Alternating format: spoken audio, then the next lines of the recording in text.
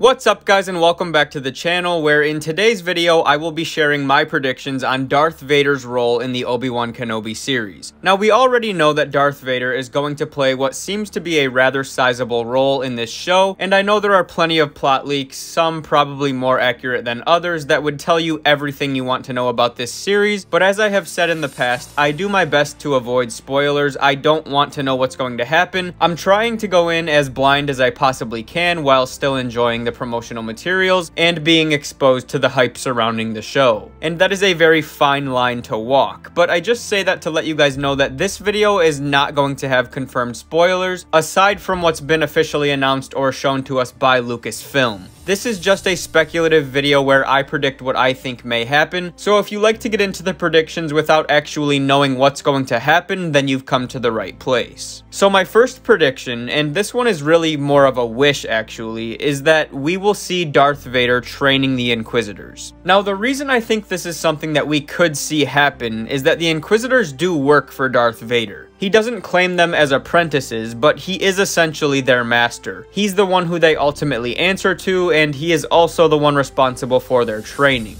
Under the wishes of his master, Darth Vader trained each Inquisitor in the ways of the dark side. And so given that information, it's not unreasonable to think that we could get some sort of training sequence between Vader and his Inquisitors. Hayden Christensen himself has teased a very powerful Lord Vader in the Kenobi series, and one way in which this power could be displayed is by presenting Vader as the leader of these powerful beings, and then showing Vader's utter dominance over them. Another creator who worked on the show previously said that Darth Vader was going to be very angry in this series, and so allowing Vader to display some rage and ruthlessness toward his Inquisitors, perhaps going as far as injuring or even killing them, which are both things we know he did do, would put both his anger and his devastating power on display.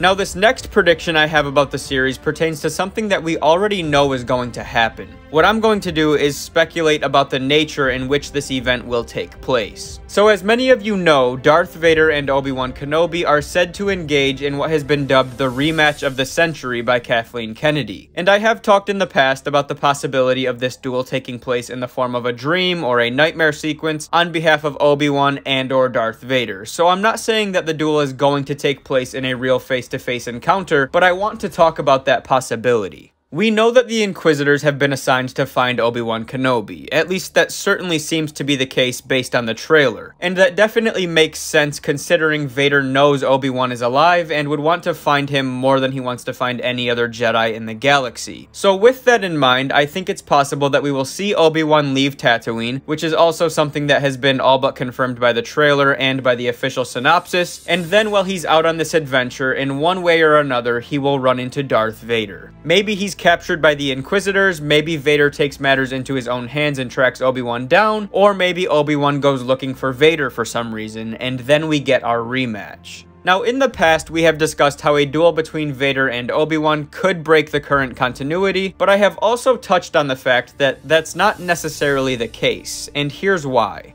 In episode 4, when Vader and Obi-Wan encounter one another on the Death Star, Vader says, When I left you, I was but the learner, now I am the master. But in episode 3, that's not what happens. Vader does not leave Obi-Wan at all. It's the exact opposite, actually. It's Obi-Wan, in fact, who leaves Vader behind after severing his limbs and leaving him on Mustafar. And while it's possible that Vader was referring to his walking away from the Jedi Order rather than him specifically walking away from Kenobi, the possibility possibility remains that the two did actually fight again. Recall also in episode 4, A New Hope, when Vader first feels the presence of his old master, he acknowledges that he senses something he has not felt in a long time, but he does not specify when that time was, as he never finishes his statement, again leaving the definitive time in which their last encounter took place more ambiguous than we have come to assume in recent years. Now previously we discussed how there was no indication of Kenobi leaving Tatooine between the events of Revenge of the Sith and A New Hope, and that made it seem pretty difficult to pull off another duel between these characters